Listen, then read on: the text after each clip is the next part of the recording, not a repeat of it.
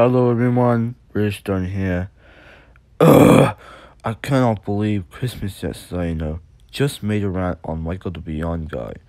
I'm gonna do a commentary on, on it right now.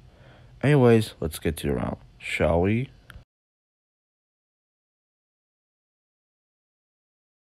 Michael the Vyond Guy.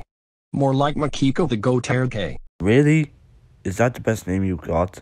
And also, the more like terms are getting overused, and also, that's the same goes with the Kiku terms. They're getting overused too. Oh my god. This user sucks.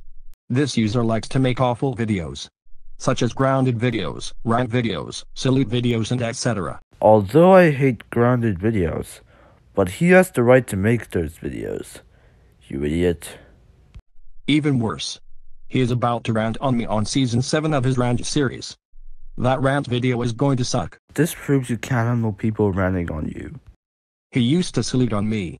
But he published the video into private because he lost interest on me. I'm gonna give credit to him. I used to like this user in 2018. Thank God I started to hate him this year. I hope this user gets terminated from YouTube and never comes back forever. Welp, that's not gonna happen at all. Do you know who likes this user? Nobody cares whoever likes or hates this user. Lincoln Loud from the Loud House.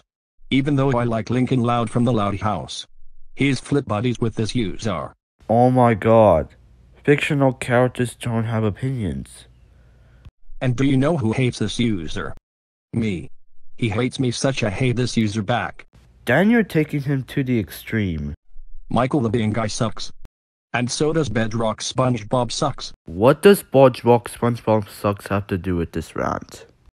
Global slash YTVZ slash Gumball Network is 7 million times better than Michael the Bean guy. Once again, what does he have to do with this rant? End of rant. Wow. Just wow. This is, has been one of the worst rants I've ever seen.